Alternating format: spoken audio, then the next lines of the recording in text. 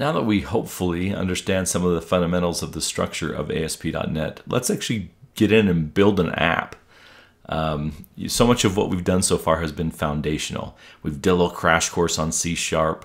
We are uh, becoming familiar with the idea of data types and, and passing information back and forth of different data types. We have created classes and instances of uh, those classes. We've uh, used APIs and again just reiterated the concepts of building instances of classes and having that information passed back and forth. We've gone through the structure of uh, MVC and learned uh, you know how we organize that and, and prep the app. And all of that was was in preparation for what we're going to do now which is actually go build some apps in .NET. And so I'm going to open up Microsoft Visual Studio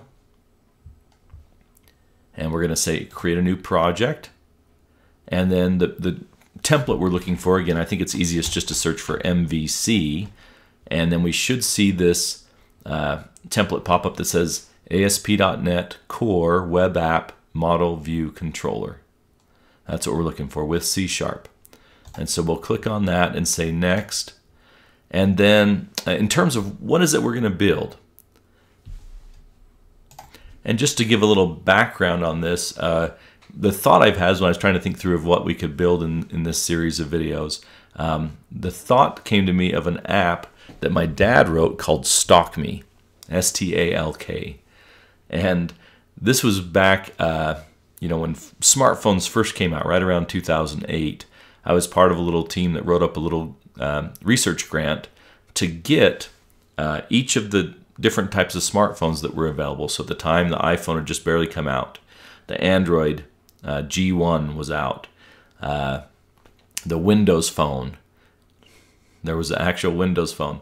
Uh, BlackBerry. And so we got these different smart devices and the, the purpose of that research was to just figure out which uh, technologies would be best to, to create classes around so that we could teach how to write uh, code for these devices in the classroom. And so we ended up from that building iPhone and, and Android uh, classes that students could learn how to program in those different technologies. Well, the first app I ever wrote was one where you, you just pressed a button and it marked your location and then you walked a certain amount of distance and you pressed another button and it told you how many yards between those two points. And so this was built for golf so that I could track my shots. Um, I could press the button and then and hit my drive and then go walk to the distance and press the other button and it would tell me how far I'd hit it 425 yards.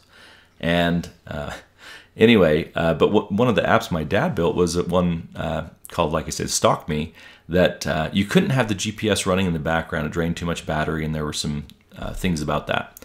So he got around it by writing an app that would uh, send out a text message on some interval. So you'd choose every five minutes, every 10 minutes, every 30 minutes.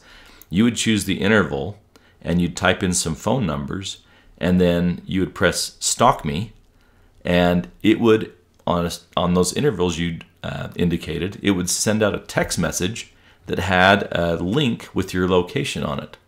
And so you could click on that link as the person who's receiving the text message, and it would pop up in the maps and show where the person you were stalking was. And so, anyway, we used it a lot on, you know, when people are traveling in from different places or whatever to see where they were at, long before Find My Friends or uh, location sharing or anything like that was around.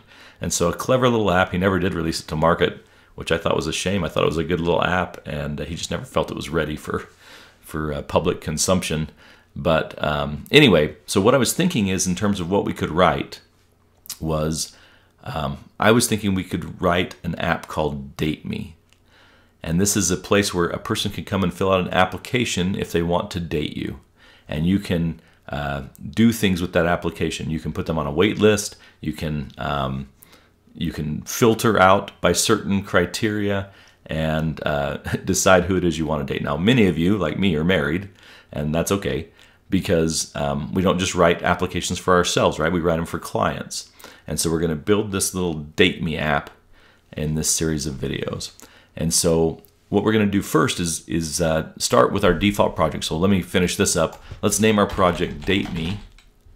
and then we'll leave this unchecked, and then next, and then uh, again, I'll leave the default options. We'll use .NET 8, and we'll say create. Now this is going to create for us this uh, template of MVC that we've looked at. And as it turns out, you can either start with an empty app and then add the stuff in you want to make it an MVC app. Or you can start with the MVC template, which as it turns out includes a bunch of stuff that we don't necessarily need. And so you end up deleting some stuff. And you can start either way. It's up to you, personal preference. But I've found it's easier to start with the, the default MVC template and then just take out the things that we don't want or need in it. And so that's what I'm going to do uh, for this uh, app that we're building. And so in the next video, I'll go through and actually clean up the app to get it ready for us to start uh, developing. Spencer out.